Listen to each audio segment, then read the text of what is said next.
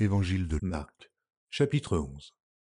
Lorsqu'ils approchèrent de Jérusalem et qu'ils furent près de Bethphagée et de Béthanie, vers la montagne des Oliviers, Jésus envoya deux de ses disciples, en leur disant Allez au village qui est devant vous, dès que vous y serez entrés, vous trouverez un anon attaché sur lequel aucun homme ne s'est encore assis. Détachez-le et amenez-le. Si quelqu'un vous dit Pourquoi faites-vous cela? répondez Le Seigneur en a besoin, et à l'instant il le laissera venir ici. Les disciples, étant allés, trouvèrent l'anon attaché dehors, près d'une porte, au contour du chemin, et ils le détachèrent. Quelques-uns de ceux qui étaient là leur dirent Que faites-vous? Pourquoi détachez-vous cet anon Ils répondirent comme Jésus l'avait dit, et on les laissa aller. Ils amenèrent à Jésus l'anon, sur lequel ils jetèrent leurs vêtements, et Jésus s'assit dessus. Beaucoup de gens étendirent leurs vêtements sur le chemin, et d'autres des branches qu'ils coupèrent dans les champs. Ceux qui précédaient ceux qui suivaient Jésus criaient Hosanna, béni soit celui qui vient au nom du Seigneur, béni soit le règne qui vient, le règne de David notre Père, Hosanna dans les lieux très hauts. Jésus entra à Jérusalem dans le temple.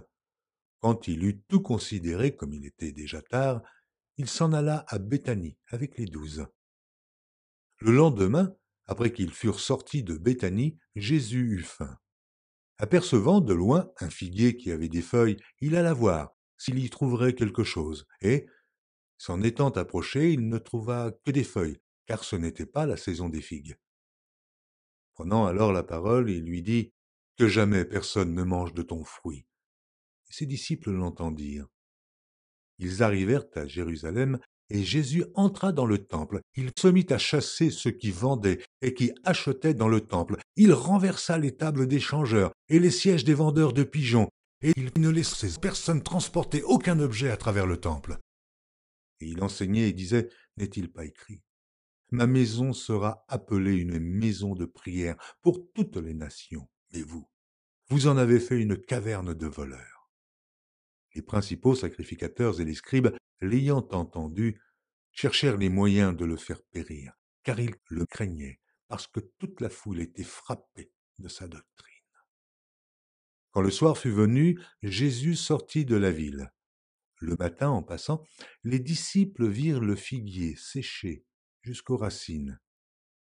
Pierre, se rappelant ce qui s'était passé, dit à Jésus, Rabbi, regarde le figuier que tu as maudit, a séché. Jésus prit la parole et leur dit, Ayez foi en Dieu. Je vous le dis en vérité, si quelqu'un dit à cette montagne, ôte-toi de là et jette-toi dans la mer, et s'il ne doute point en son cœur, mais croit que ce qu'il a dit arrive, il le verra s'accomplir. C'est pourquoi je vous dis, tout ce que vous demanderez en priant, croyez que vous l'avez reçu, et vous le verrez s'accomplir.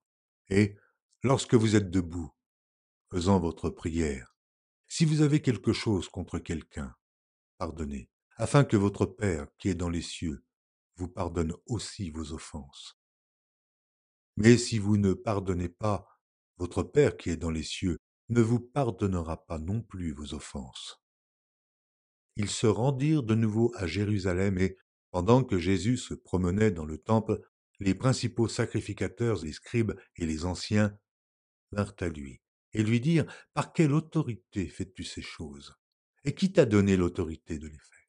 Jésus leur répondit Je vous adresserai aussi une question. Répondez-moi, et je vous dirai par quelle autorité je fais ces choses.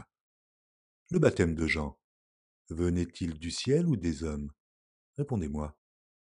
Mais ils raisonnèrent ainsi entre eux. Si nous répondons du ciel, il dira Pourquoi donc n'avez-vous pas cru en lui? Et si nous répondons des hommes, il craignait le peuple, car tous tenaient réellement Jean pour un prophète. Alors ils répondirent à Jésus Nous ne savons. Et Jésus leur dit Moi non plus. Je ne vous dirai pas par quelle autorité je fais ces choses.